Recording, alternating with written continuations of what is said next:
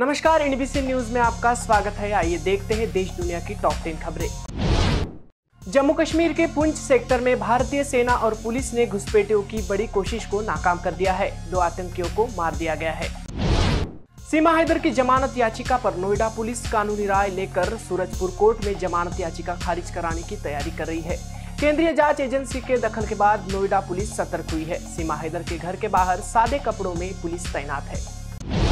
हिमाचल के कुल्लू में बादल फटने की घटना हुई है। इसमें एक व्यक्ति की मौत हो गई और दो घायल हो गए। बादल फटने के बाद आई बाढ़ में आसपास के खड़े सभी वाहन बह गए।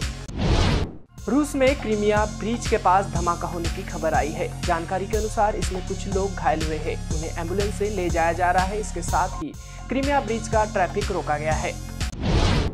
दिल्ली में बाढ़ का खतरा टल गया है, यमुना का जलस्तर लगातार घट रहा है। रविवार रात 11 बजे तक वाटर लेवल 205.5 मीटर रहा। खतरे का निशान 205.33 मीटर है। महाराष्ट्र का राजनीतिक संकट अभी थमा नहीं, अभी भी वह हलचल स्थिति बनी हुई है। राज्य की राजनीति में कुछ बदलाव भी आ सकता है। एनसीपी अजित पवार गुट के कई मंत्री। प्रफुल्ल पटेल की अगुवाई में रविवार को शरद पवार से मिले। पिछले कुछ दिनों से यमुना का जलस्तर लगातार बढ़ रहा था। शनिवार सुबह से जलस्तर में कमी देखने को मिल रही है। ऐसे में यमुना किनारे के कई इलाके में, जहाँ पानी बड़ी तादाद में जमा हो गया है, इन इलाकों में मॉस्किटो, बॉन्ड बीमारियों का खतरा बढ़ गया है।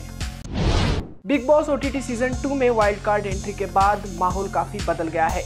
वीकेंड के वॉर के बाद एक और जहाँ पुराने रिश्ते टूटते नज़र आए, वहीं दूसरी ओर आशिका भाटिया भी काफ़ी इमोशनल हो गई।